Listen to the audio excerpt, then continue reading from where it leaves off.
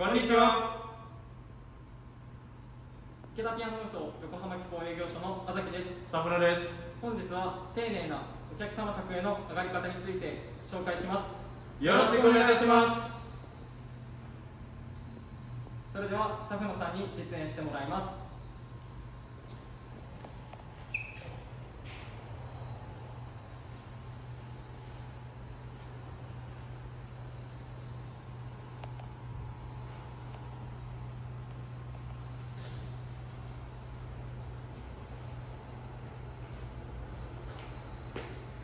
このようにお客様宅へ上がる際には靴を揃え端に寄せています。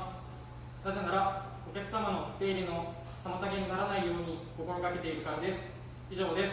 ありがとうございました。